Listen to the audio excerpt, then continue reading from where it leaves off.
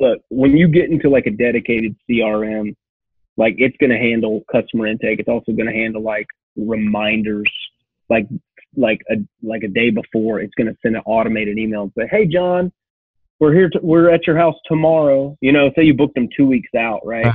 And um, if you don't have that, dude, I remember when I didn't have that. Um, people would be like, "Oh, I forgot." Like, yeah, we got somebody else to do it. You know what I mean? What? That is Yeah, dude. wild. And so also have cancellation fees. Um, that's something that you need. How do you keep them in a contractual, you know, in order to like validate the cancellation fee? Uh, well, validating it is like one of those things. Like, are you really going to go after it, right? Like, Yeah. you're going to go after the cancellation fee, You just uh, send it to them, whatever it is. Like If you're going to get a deposit, oh, I build the shit out of it. Like, cancellation fee. Me my money, and it's literally in in the log cancellation fee, Wow. um, two hundred bucks. when you send out your uh, invoice, does it say like, is there a little spot that says uh like that there's a cancellation fee? Do they know? Yeah, yeah, yeah. It's on the bottom of every single estimate. See, that's So- super cool. I mean, I've never done that before. so.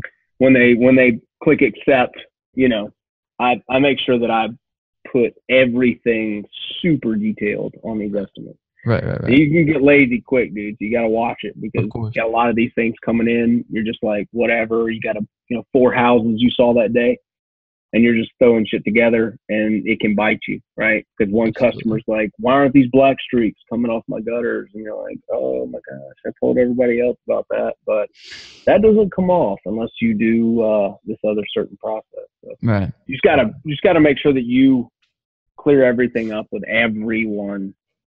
That's Right. probably the downside of the business is that there there's just like you just got to be very detailed when it comes to what you're doing. Thanks so much for watching the video. If you enjoyed it, give it a like for me. And also leave me something down in the comments section. If you'd like to be notified for my future videos, make sure to hit that subscribe button as well as the bell icon so you don't miss anything. If you'd like to watch this podcast in its entirety, there will be a link in the comment section and the description to the full version of the podcast. Also, if you're curious about any of the equipment that I use to make this video, there will be Amazon links in the comment section and the description. If you click through and purchase anything within a 24 hour period using those links, I will get a small commission and I'll greatly appreciate you for that. If you'd like to sponsor the channel or support it in any other way, I also have Patreon and merch down in the comment section and the description. But I really appreciate you for watching. My name is Justin. This is Forever Self Employed. And until next time, hustle hard and get that money. Peace.